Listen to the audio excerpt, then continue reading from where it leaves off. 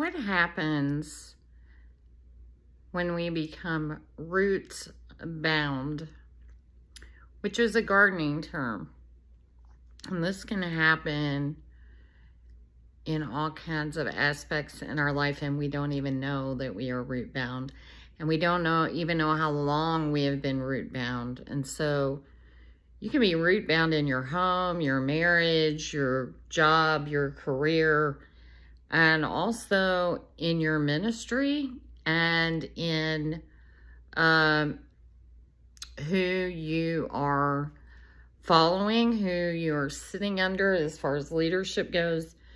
You can be root bound. And root bound is when a plant outgrows the pot it's in. And so the roots all begin to get just compacted at the bottom of the pot where they don't have any room any longer to to stretch out uh, basically to stretch out and fly and spread their wings. And so the plant doesn't do well. After a while you know with a root bound plant if you water it there's no way for the water to drain because all of those roots are just matted up and squished all together at the bottom and I think a lot of us have become root bound in many areas because why? Well, it's comfortable.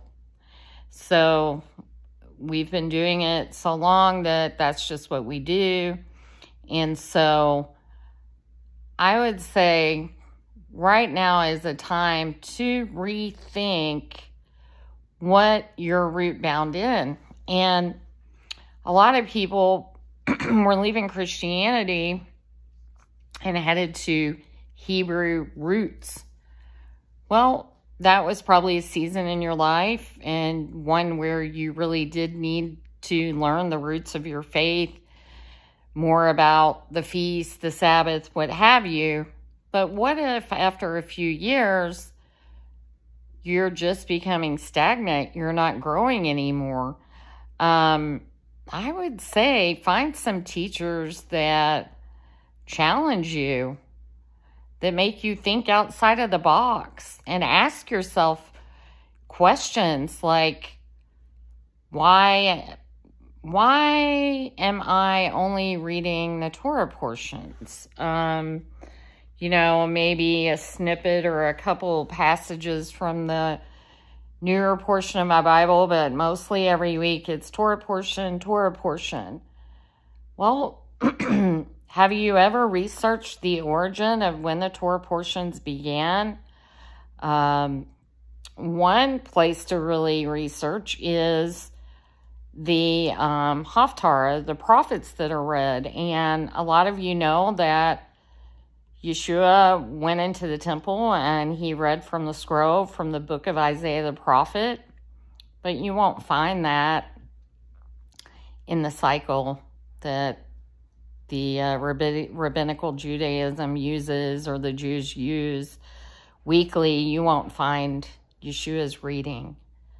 Um, also, you won't find a lot of the passages that are proof texts of the Messiah in the prophets, you won't find them them read because the Jews have very carefully removed them.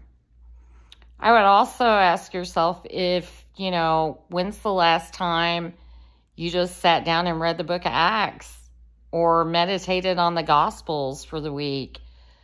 You just decided to study, you know, John or Mark or really dig in again to what Yeshua was saying to the leadership and to the Torah scholars. And also, you know, being root bound, many times what happens is we're just comfortable. And I would say find some teachers that challenge you Find some teachers that scare you. Find some topics you haven't dug into. And, you know, as I'm researching for um, my next two book releases, I've been finding some academic scholarly teachers I didn't know existed. And I'm learning new things.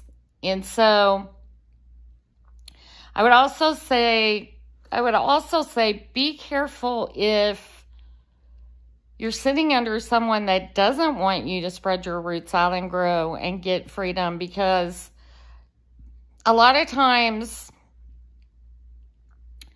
teachers don't even realize it because they worry about others and they don't want them learning lies or they're afraid if they go somewhere else, they may not learn or they may get caught up in something false. And they may even warn you that, you know, if you don't know Hebrew, you're really not going to be able to study your Bible.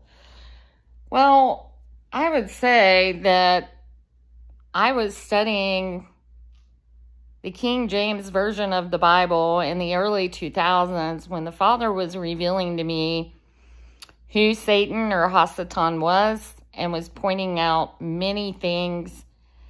And it just took me a few years to do the um, scholarly research, the historical research, look at everything in context. But he was already revealing to me. And you know, the words of Yeshua, many times, yes, he is calling out the the leadership of his time, the corruption, and he's using parables. He's using things from their oral traditions. Um, some of the people that a lot of scholars quote, you know, if you've never studied the Mishnah or the the Talmud or a lot of these other writings, um, you might be surprised what you find in there. Not everything is is pretty. I'll just say that, but uh, I think that when we get to the point where we feel like we know everything or we have the best teachers, there's a lot of teachers out there. You don't have to just stay with one teacher. It's okay to stretch those roots out a little bit and explore and ask questions. You don't have to ask them to anyone, ask them to yourself. You know, when is the last time that I skipped a Torah portion reading and just sat down and meditated on the book of Acts? When's the last time I didn't feel guilty because um, I forgot to say the Shema or I forgot to count the Omer one day. You know, I see people getting involved in a lot of these things, and honestly, when we are counting the Omer or the Omer, or the, however you want to pronounce it, when we are counting up to Pentecost or Shavuot, we're counting up to something that's already happened. The Holy Spirit's already been poured out. So if, let's say that you or your wife became pregnant and you go to the doctor and the doctor says, um, from what I can tell, it looks like your baby's going to be born, you know, January 13th. So you and your spouse go home, you're looking at the dates, you're trying to prepare a room, name this baby, get everything it needs. And yes, you're going to be counting up, counting up to the date of the birth of this beautiful child. But are you going to do that every year? No, you're just going to be looking and, oh yeah, you know, little Tammy's birthday is coming up in January you you already have the child. The child is already there. So we already have the Holy Spirit. We so it's sort of like Passover. Yeshua is the Passover lamb. Um, are we going out and trying to find a spotless lamb that we're going to sacrifice? No, because there is no temple and also the Messiah has already came. And so ask yourself if there's more that you're missing from these feast days. If you dig in deeper, I think you're going to be really blown away by all the hidden layers, not just what, um, not just what we're doing as far as, oh, today's 29 days. Today's, you know, some people can't even agree on that you know, they're going to argue about that. And so, what about the Ruach? What about the Holy Spirit that was poured out? Shouldn't that be our focus? And are we walking and being led by a spirit? And so, I just wanted to discuss these things with you today because sometimes a job becomes comfortable, so we just keep going to it. A marriage becomes comfortable, and in no way am I saying get a divorce, but you might need to get a bigger pot, some potting soil, some nutrients, seek counseling. You know, maybe you've lived in your house forever and maybe there's bad memories there. Maybe one of your loved ones died in that house. Maybe you were divorced in that house and still have things of your exes in the house. You know, I would say sometimes being root bound, we need a wake up call. It's time to uproot and be replanted somewhere where we can thrive and grow and get freedom. So, hope this has blessed you all. Bye bye.